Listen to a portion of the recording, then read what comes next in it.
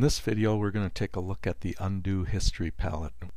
To make the palette visible, go up to the Window menu and choose Undo History.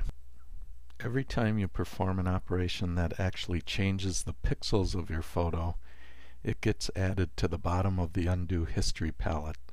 So your most recent change is at the bottom of the palette and your oldest change is at the top. Elements won't add things like changing tools or changing zoom. And now if I perform another pixel altering operation like hue saturation, it will be added to the bottom of the undo history palette. You can also revert to a previous state by just clicking on the state that you want to return to. So say I want to go back to before I did the blurring on that flower again, I can just simply click on the state right before I did a blur and it will return me to that state.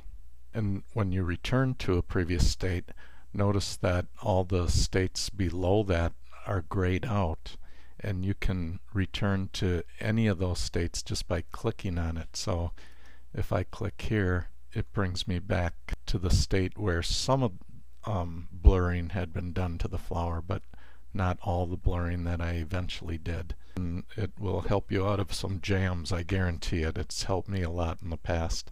For lots more information on Photoshop Elements, be sure to visit my website at essentialphotoshopelements.com. Until next time, take care.